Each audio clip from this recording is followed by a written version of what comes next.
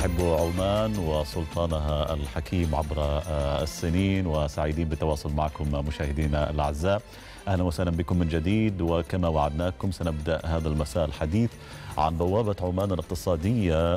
هناك ميناء الدقم هذا المشروع الحيوي المهم الذي يربط عمان بحريا بعديد المحطات التجارية العالمية. للحديث عن هذا الموضوع معنا الدكتور عمر بن سالم الجابري وهو خبير اقتصادي. دكتور عمر أهلا وسهلا بك أهلا معنا. وسهلا حياكم الله. بارك الله فيكم. بارك الله. آه، قبل أن نتحدث عن آه، ميناء الدقم بالتحديد آه، دعنا نتحدث عن أهمية الموانئ ال- ال- في منظومة اللوجستية العالمية بشكل عام وما الذي تمثله؟ آه، بسم الله الرحمن الرحيم. طبعا آه، ما يخفى على إنه الموانئ هي يعني عامل أساسي. في آه، النقل التجاري بين معظم محطات العالم مم. وطبعا تاريخ عمان تاريخ قديم من ناحية الملاحة البحرية والموانئ وإحنا على علم أيضا إنه عمان كانت تشتهر بتصدير اللبان آه، منذ آلاف السنين عن طريق ميناء سمهرم وأيضا عندنا ميناء صحار وتصدير النحاس مم. وأيضا آه، يعني في سابق ال- الزمان آه، كانت الدول يعني تستعمر الدول الأخرى آه، بسبب المواقع الجغرافية و الاستيلاء على هذه المواقع على. هذه المواقع. لأنها آه، مهمة جدا آه، في الملاحة البحرية وحركة التجارة. نعم حركة الموانئ حاليا يعني تشكل أكثر من 13 تريليون دولار مم. ويعني تعتبر الموانئ هي العامل الأساسي المهم في تصدير واستيراد البضائع ونقلها من وإلى كافة آه، آه، محطات العالم. يعني رغم دكتور التقدم اللي صار ويعني وجود وسائل جديدة أخرى غير ال- البحار إلا أنه يعني حافظت الموانئ على نعم مكانتها. وهي تعد مهمة لأنه هناك عدة اعتبارات منها طبعا الحجم. آه، في طبعا نقل ونقل بضائع يتم عن طريق ال- البر وأيضا يتم عن طريق ال- الجو ولكن تظل النقل البحري هو العامل الأساسي في عملية نقل البضائع ذات الأحجام الكبيرة وأيضا ذات الكميات الضخمة من كافة أنحاء العالم. نعم. ولذلك آه، أيضا هناك كثير من الدول تتنافس على الحصول على يعني صفقات تجارية وتحصل على آه، إدارة لموانئ لرفض الاقتصادات آه، اقتصادات تلك الدول. نعم, نعم. نعم. طيب دكتور يعني الشيء بالشيء يذكر اليوم وصول الملك ملك البلجيكيين إلى سلطنة عمان في زيارة رسمية. ونعلم بأنه آه، يعني في ميناء الدقم هناك أيضا مشروع عماني بلجيكي مشترك في الدقم. ما المأمول تحقيقه أيضا من هذه الشراكة بين سلطنة عمان والجانب البلجيكي آه، ضمن هذه آه، الاتفاقية المشتركة. طبعا لما يكون هناك شراكة استراتيجية بين آه، يعني عده جهات إحنا نتكلم على السلطنة وهي طبعا ممثلة في مجموعة أسياد وأيضا نتكلم على الجانب الب- البلجيكي. الجانب البلجيكي طبعا عنده الخبرة العالمية الكافية في إدارة الموانئ الميناء البلجيكي هذه آه، يعد ثاني أكبر آه، موانئ أوروبا. وطبعا لما أي جهة تريد تشارك جهة أخرى ال- الأهم في المسألة هذه هي الاستفادة. الاستفادة من الخبرات والعلاقات الدولية تساعد كثيرا في تسريع آه، نمو هذه الموانئ. بهذه بهذه الشراكة. نعم نعم. طيب آه، دكتور يعني سلطنة عمان تعول آه، طبعا في هذا الوقت بالتحديد آه، على المنطقة الاقتصادية الخاصة بالدقم وميناء الدقم بالتحديد لتنشيط ال- ال- الجانب الاقتصادي كميناء عالمي للتجارة العالمية وجلب الكثير من الاستثمارات وخطوط التجارة العالمية. فحابين أيضا في هذه المساحة نتحدث عن أهمية الميناء ضمن هذه المنظومة الاقتصادية. طبعا الميناء آه، هو ميناء حديث ولكن مؤمل على إنه يكون آه، ذو آه، استفادة كبيرة وأيضا يكون ذو مساهمة كبيرة في في الاقتصاد العماني والناتج المحلي الإجمالي. آه، الميناء بنفسه كميناء ما ما ممكن يؤدي دور بدون ما يكون هناك أيضا آه، تكامل مع عدة قطاعات أخرى آه، تشملها هذه المنطقة ومرافقها. وطبعا آه، من المهم جدا أن يعني نذكر على إنه آه، يعني من خلال اطلاعي إنه من من خلال اطلاعي على الأكثر آه، 50 ميناء عالمي من ناحية التشغيل. آه، معظم الموانئ هذه موجودة في آسيا. آه، بذكر على إنه ربما هناك مينائين في الولايات المتحدة. ومن دول الخليج العربي آه، يعني الحمد لله صلالة واحدة من هذه الموانئ ميناء صلالة وأيضا ميناء جدة وميناء جبل علي. إذا كان آه، طبعا آه، هناك توجه للاستفاده من يعني موقع ميناء الدقم وهو أفضل موقع من كل الموانئ الأخرى المتواجدة في المنطقة أنا أتوقع أن طبعا هذا يكون من أفضل واقوى الموانئ اللي ممكن يتم فيها حركة التصدير والإستيراد ونقل البضائع في شتى أنحاء العالم. نعم. وأنت تتحدث الآن. دكتور نحن نتابع مع المشاهدين بعض من المرافق التي آه، تتميز بها المنطقة الاقتصادية الخاصة بالدقم المحيطة بميناء الدقم. وبلا شك يعني هذه المرافق أيضا هي آه، يعني تدخل ضمن هذه المنظومة الاقتصادية الكاملة التي يعول عليها كثيرا. فحدثنا عن قيمة هذه المنشآت أيضا وكيف تخدم أيضا ميناء الدقم؟ طبعا هناك منشآت كثيرة ومرافق آه، في المخطط آه، منطقة آه، الدقم. آه، هناك منطقة صناعية وهناك منطقة لوجستية ومنطقة خدمات وهناك أيضا منطقة الصناعات السمكية وهناك أيضا المطار. وهناك المنطقة التعليمية والمنطقة السكانية. من المؤمل أن هذه المنطقة يعني يكون فيها من السكان ما يقارب حوالي 110 ألاف شخص أو نسمة.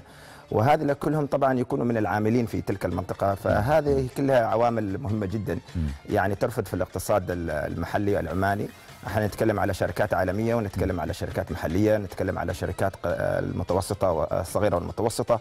هذه كلها بتستفيد آه، من إدارة هذه المنطقة. فهي مدينة متكاملة وأيضا الكمية الاقتصادية كمية يعني الإنتاج الناتج المحلي التي يأتي منها آه، متوقع أن تساهم بحوالي 5% من الناتج المحلي الإجمالي. فهذا طبعا من ضمن خطة ال- اللي هي رؤية 2040 آه، اللي هي تتعلق بالتنوع الاقتصادي. هذه مهمة جدا أيضا لعدم يعني الاعتماد الكلي على النفط كرافد أساسي للاقتصاد العماني. نعم. طيب دكتور آه، يعني كيف يساعد أيضا الميناء في بناء شراكة مع الدول المجاورة أيضا وتحدثت أن هناك موانئ آه، يعني ذات سمعة طيبة في المنطقة وعدتها ربما آه، الموجودة.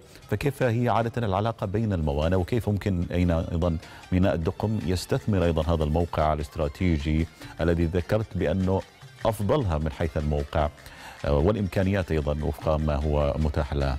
طبعا دائما دائما البح... ال- ال- الشراكات هذه تعتمد آه، على مبدأ الميزة التنافسية، يعني ماذا أنا يكون عندي متوفر كميزة أقدر أستفيد منها وأفيد ال- الجهة الأخرى التي أريد أن أقوم بالشراكة معها. طبعا إحنا عندنا بما إن عندنا الموقع يعني جدا منافس وأيضا آه، هذا يدل على إنه بيساعد في مسألة تخفيض ال- التكاليف. فكثرة الحركة تحتاج دائما تعاون بين بين ال- الموانئ.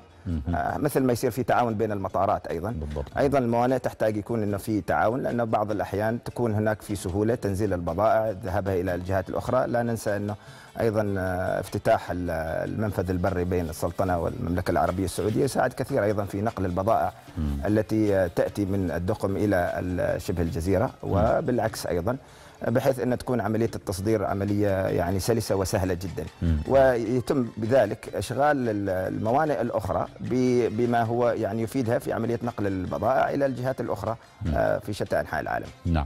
كيف يمكن أيضا استثمار ميناء الدقم بكافة مرافقه آه، ليقدم أيضا قيمة مضافة للمجتمع المحيط سواء في ولاية الدقم محافظة الوسطى وأيضا المحافظات القريبة على الأقل؟ هو طبعا الحين الميناء أصلا بيوفر قيمة مضافة لكل السلطنة وطبعا بالأخص إحنا لما نتكلم على المنط- المنطقة الوسطى أو محافظة الوسطى آه، ومنطقة آه، ولاية الدقم آه، نحن نتحدث على آه، أمور كثيرة تتعلق بمثلا توفير فرص آه، عمل. آه، أيضا مساهمة في اللي هي ال- ال- المساهمه في آه، تنشيط الحركة الاقتصادية للمؤسسات الصغيرة والمتوسطة الاستفادة من آه، القيمة المضافة التي يعني الحين معظم الشركات ال- ال- التي ال- الكبرى لديها ال- ال- دائرة القيمة المضافة التي تساعد المجتمع المحلي بحيث إنها توفر فرص عمل وتوفر أيضا آه، مساهمة مساهمة المؤسسات الصغيرة والمتوسطة في ال- العمليات وفي آه، في المناقصات التي يعني تطرحها من أجل تزويد ال- ال- المنطقة بالخدمات والسلع والبضائع المطلوبة. نعم هل هناك توجه ربما ل يعني صناعات نوعية تكون موجودة في هذه المنطقة بالتحديد؟ هو هناك كثير حقيقة يعني في منطقة صناعية إحنا نتكلم الحين على حوالي 365 كيلو متر مربع خصصت للصناعات والمنطقة اللوجستية.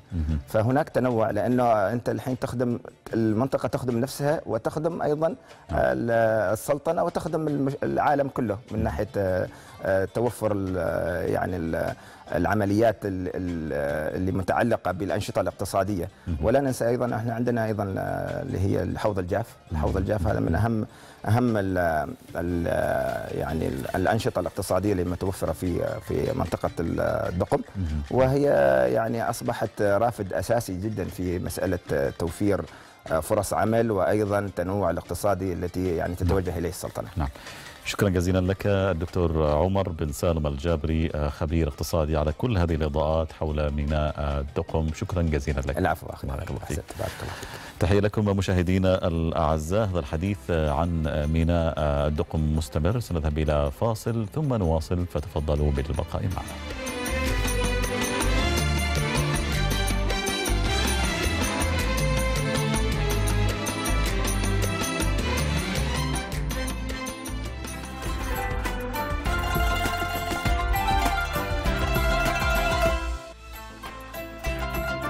أسياد البحار. مكانة عريقة في تاريخ الملاحة البحرية في العالم. موقع استراتيجي للسلطنة على البحار المفتوحة. فرصة للموانئ البحرية العمانية بأن تلعب دورا كبيرا في التجارة الخارجية. ومن تلك الأهمية تم إنجاز العديد من المشاريع اللوجستية خلال السنوات الماضية. لتحسين مساهمة الخدمات اللوجستية بشكل كبير في الاقتصاد العماني. لقد تبنت الحكومة خلال العقود الماضية فكرة إنشاء عدة موانئ ومناطق اقتصادية وصناعية حرة في إطار سياسة التنويع الاقتصادي في عدة محافظات عمانية بالإضافة إلى منطقة الدقم الاقتصادية التي تمثل مركزا تجاريا وصناعيا وخدميا في الاستراتيجية اللوجستية للسلطنة. وجميع هذه الموانئ والمناطق تمثل اليوم مؤسسات كبيرة لدعم المشاريع التي يتم إنشاؤها لخدمة البنية الأساسية في عدة قطاعات اقتصادية وخدمية تعزز دخل السلطنة وتعمل على مضاعفة الاستثمارات المحلية والأجنبية في المستقبل. ميناء الدقم بوابة الاقتصاد العماني وقبلة الاقتصاد العالمي المطل على أهم الممرات البحرية والذي سيكون مركزا لصناعة الهيدروجين الأخضر وتوزيعه فيما تجاوز عدد مستخدمي ميناء صحار أكثر من 2.2 مليار مستخدم وهذا ما يجعل الميناء ضمن الموانئ العالمية القليلة المجهزة بأرصفة المياه العميقة القادرة على التعامل مع أكبر السفن في العالم. أما ميناء صلالة فيتميز بكونه واحدا من أكبر موانئ الشحن وأسرعها نموا في المنطقة حيث حقق الميناء أرقاما قياسية استثنائية في العام الماضي واضعا معايير وطموحات أعلى وأفضل للمستقبل. وفق البيانات الأخيرة فإن الموانئ العمانية ترتبط اليوم مع 86 ميناء تجاريا بشكل مباشر في أكثر من 40 دولة. وعمليات الاستيراد والتصدير لا تقتصر فقط من وإلى الموانئ الإقليمية بل تمتد لدول بعيدة تقع في قارات عديدة مع مختلف الموانئ العالمية لتصبح موانئ عمان بوابه للاقتصاد العالمي.